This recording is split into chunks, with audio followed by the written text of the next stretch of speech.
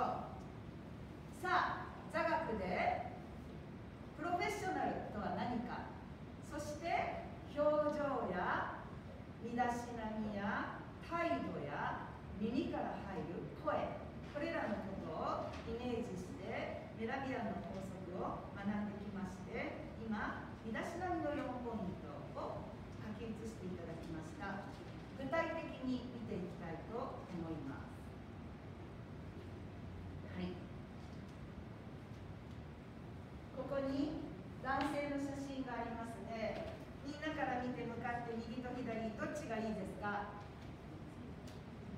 好みは別ですよ。私こっちの方が好きとかじゃないよ。ビジネスとしてどっちがいいですか？はいじゃあ聞くね。えこっちの人はビジネスふさわしい？こっちは？はいありがとうございます。極端だから分かりやすいですよね。もちろん流行としては今これがさらに2ブロックになってたりするかもしれないけれどもやはりビジネスは流行に左右されず100人の人が見て感じがいいっていうのはこういうことだよね、はい、今日の男子いかがでしょうか？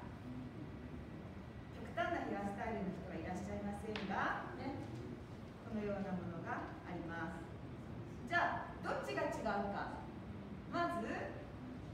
男性が整髪量を使って整えていますよねでホテルコース必ず整髪量で男子もしっかりセットをするのはなぜかというと見た感じが清潔であるもありますがホテルコースの人にとってはもっと大事な目的があるから整髪量を使います。お客様にサービスをした時に髪の毛が入っていたらどうですかねだからです髪の毛1本でも何かに入ったりついていたらサービスは0点どころかマイナスですだからこそ整髪量を使います姿の皆さんもどうぞそれを参考にしてくださいでは次の写真いきましょう髪型身だしなみどうですか両方ともビジネスとして OK に見えませんね OK だよねだけどメガネ見てくださいホテルコースの人覚えてくださいちょっとこのメガネかっこいいけれど目のところの印象が人によって変わりませんか怖い感じ受ける人いるかもしれませんよね。頭良さそうに感じる人もいるかもしれませんよね。何も感じない人いるでしょうね。だけど一人でもこの眼鏡を見て怖いって思う人がいたら基本ではないね。100人の人が100人第一印象を良くするためにはホテルで働く人は眼鏡のフレームが目立ってはいけませんぱり第一印象を与えなくてはいけませんマスクでメガネだと時計です。だから透明のフレーム。目立たないフレームをする。これがホテルの基本になってきます。これはねホテルの人実習した時また指導もあると思いますので今すぐメガネを変える必要はありませんがカジュアルな時のメガネと仕事の時のメガネが用意できるようにそういうプロになってほしいと思いますもう分かりますねどうですか男性今日自分の靴下どっちですかアムドルさん王さんどっちですか今日自分の靴下こっち素晴らしい王さんはこっち素晴らしいそしたらですね普段みんなこっち履くよねうんうんさんに私もプライベートの時はこっちを履きますだけど仕事では男性は長い靴下を履きます。だってここが見えたらすごい目立つんですね足元って。ここに素足肌が見えることは印象を変えてしまいますですから黒紺などスーツと同じ色で長い靴下を履きましょう靴ですどうですかうん靴下履いてないとねそうするとカジュアルな印象を与えます今流行しているのはこのスタイル裸足で履いたイメージ履いてる方多いですけれどもビジネスの基本ではやめてくださいこういう形の靴がビジネスシューズの基本どこにでも履いていって認めてもらえるスタイルはこの靴です。今日この後また男子女子に分かれて細かいところを一緒に勉強したりもっと良くしていくところでお話を聞いてください。では次に行きましょう。男性からいきましょうか。ネクタイどうですか？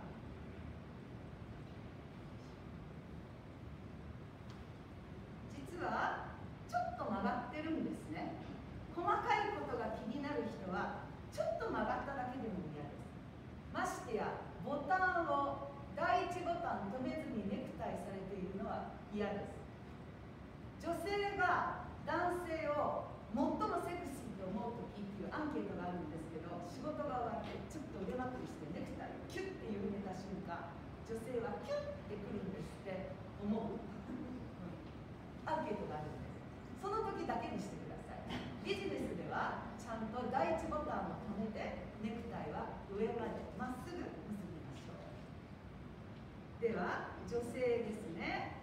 お辞儀をしていますが目が下を向いています。ちょっと猫背になっています。そうすると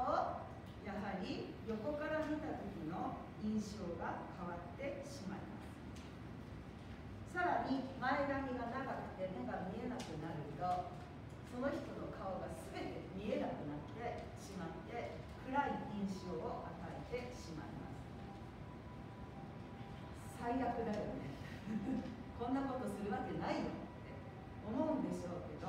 これは極端な例ですが極端な例ですよ。だけどさっき見たねちょっと違うだけでも人の印象は100%って思わないんですこれを最悪と思わないでくださいこれのちょっとあるだけでも人は満足しませんだからホテルコースは基準が厳しくなっているホテルに入ったらもっと厳しいルールがあって当たり前何度も言います1000人のお客様がいらっしゃったら1000人のお客様に満足していただかないとダメだからこれがプロです身だしなみのモデルとして男性の例ですね。髪の毛は整髪量で整えられおでこが見えることは頭をよく見せる知的に見せる効果があります。白のワイシャツにネクタイで下にベストを揃えた三つ揃えをお召しですね。本日伊藤先生も三つ揃えをお召しです。後で先生見学してもいいですかね見せていただいてください。ポケットチーフが入っています。これは紳士の身だしなみでもあるんだったりホテルコースではホテルの制服としてもポケットチーフがあったりします。そして名札を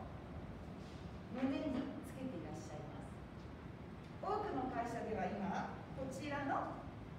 ネームプレートが増えていると思いますが支給された名札ネームプレートは決まった場所に必ず見えるようにつけてください。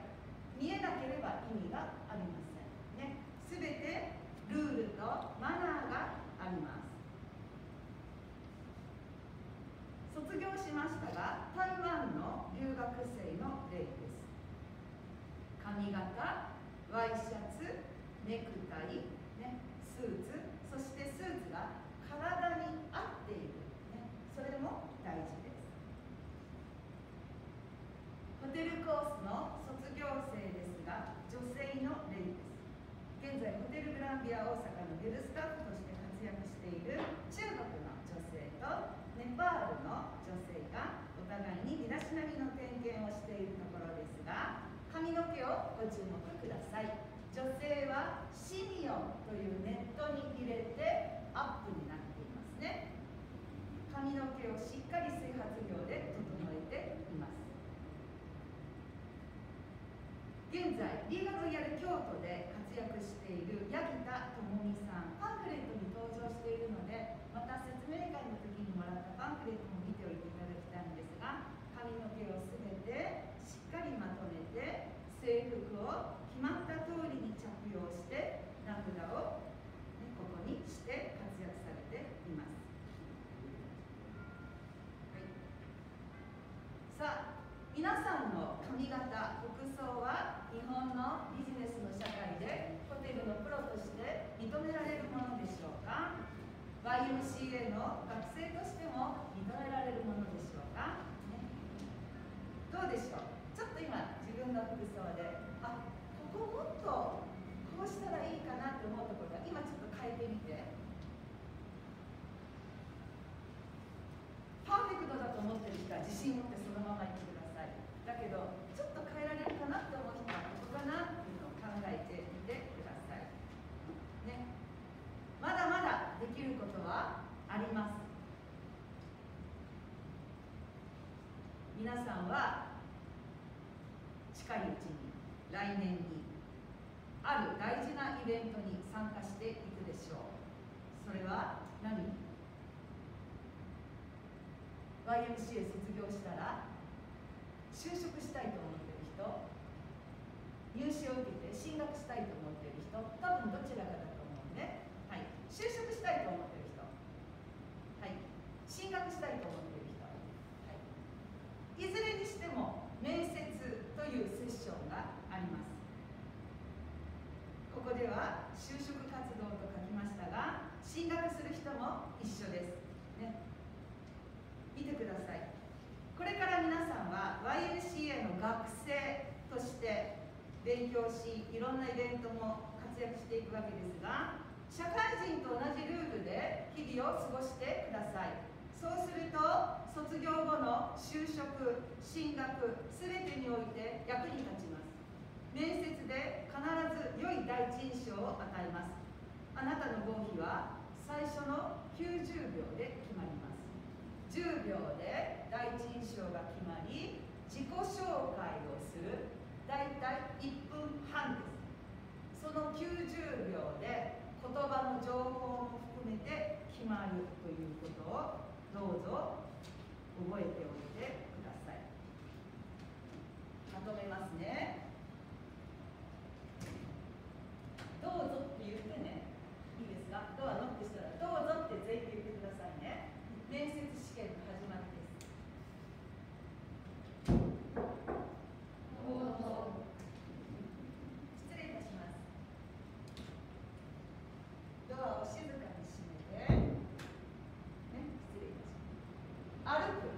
見られますね。立つ見られますね。ここで初めて学校名と名前とかですね。大阪 YMCA 国際専門学校から参りました。片岡千佳子と申します。本日はよろしくお願い申し上げます。挨拶しますね。上がりますね。どうぞお座りください。失礼いたします。座ります。